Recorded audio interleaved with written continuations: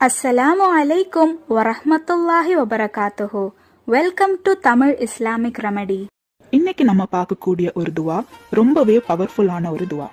முகமது நபி ஸல்லல்லாஹு அலைவசல்லம் தன்னோட கஷ்டமான சூழ்நிலையில அடிக்கடி ஓதி வந்ததாக புகாரியில் கூட பதிவு செய்த ஒரு துவாவை பற்றி தான் இன்னைக்கு நம்ம பார்க்க போறோம். இந்த காலத்துல ஸ்ட்ரெஸ் டிப்ரெஷன்னு நிறைய பேர் இருக்காங்க. உங்க ஸ்ட்ரெஸ் டிப்ரெஷனை அல்லா கிட்ட துவா மூலமா நீங்க சொல்லணும்னு நினைச்சீங்கன்னா இந்த துவாவை ஓதுங்க. இதை நீங்க ஓதி முடிக்கும் போதே உங்க மனசுக்கு ராகத் கிடைக்கிறத நீங்களே உணரலாம். இந்த துவா நம்ம மனசை சாந்தப்படுத்தி அல்லாஹ் நம்ம கூட தான் இருக்கான்ற ஒரு மன தைரியத்தையும் கொடுக்கும். பிரெக்னெண்டா இருக்கிற பெண்கள் இந்த துவாவை நிறைய ஓதணும். அந்த நேரத்துல இருக்கிற வலியும் பயமும் ரொம்பவே கம்மியாகும். அவங்க மனசு சாந்தமாகும். பிரெக்னெண்டா இருக்கும்போது ஓத வேண்டிய நிறைய திக்கர் துவாக்கள் இருந்தாலும் அதுல முக்கியமான ஒரு இடத்தை பிடிச்சிருக்கிற துவா தான் இது.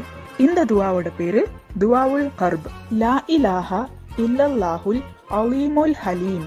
லா இலாஹா இல்லல்லாஹு ரப்புல் அர்ஷில் அலீம். லா இலாஹா இல்லல்லாஹு ரப்பு சமாவாதி வ ரப்புல் அர்லி வ ரப்புல் அர்ஷில் கரீம்.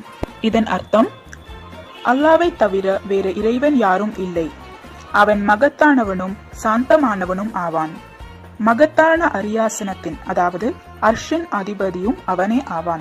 அல்லாவை தவிர வேறு இறைவன் யாரும் இல்லை.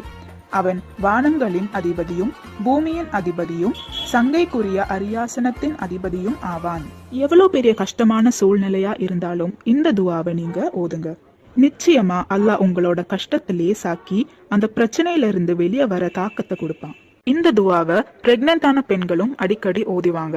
நிச்சயமா உங்களுக்கும் உங்க குழந்தைக்கும் அல்லாஹ் வலிய லேசாக்கி தருவான்.